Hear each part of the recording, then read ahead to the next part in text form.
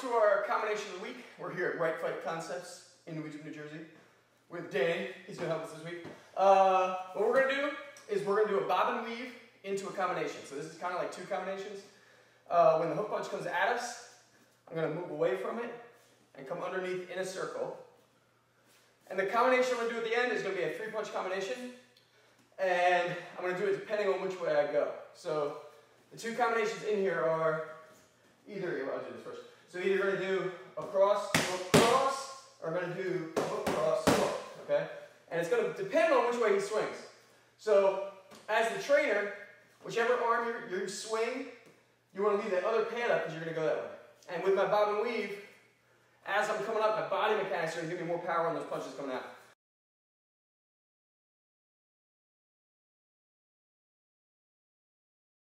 So if he swings this guy, I'm going to do the hook, cross, hook.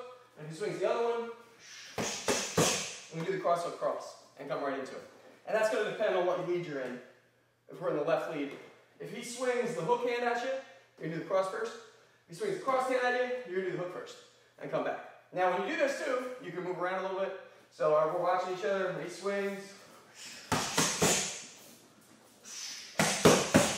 Okay? So pretty simple. Give that a shot. Remember, try to keep your hands up. For each punch, turn your body, and remember that bob and weave, move away from the punch, under it, and come back up and get those body mechanics into your punches. Happy training, everybody. Please like this video, subscribe to our channel,